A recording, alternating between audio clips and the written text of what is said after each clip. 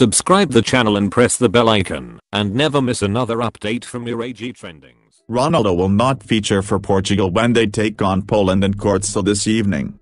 The UEFA Nations League fixture is both sides' second in the competition, with Portugal starting well with a 1-0 victory over Italy, the only other side in Group 3, in their opener. Poland, meanwhile, drew against the Azzurri in their first Liga match. Portugal will be without their all-time leading goalscorer Ronaldo, however. Following the World Cup, where Portugal were knocked out in the last 16 by Uruguay, Ronaldo asked to have a break from international football until 2019. It is thought that the Juventus forward wants time to settle into life in Turin, where he moved to after his summer transfer from Real Madrid.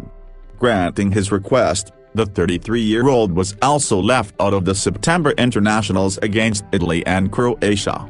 He is expected to miss the November internationals against Italy and Poland, also. Portugal manager Fernando Santos explained the decision when announcing his 25-man squad last week. The manager said, Federation, President Fernando Gomes and I spoke with Cristiano Ronaldo, and we considered it best for the player not to be included in this and November's call-ups. In Ronaldo's absence, Andre Silva is expected to lead the line, with Bernardo Silva and Bruma either side of him.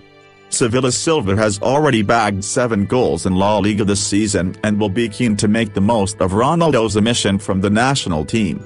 The La Liga outfit are top of the league with Barcelona, Real Madrid and Atletico Madrid trailing in their wake thanks in large to Silva. Santos's side are expected to line up in a 4-3-3 formation.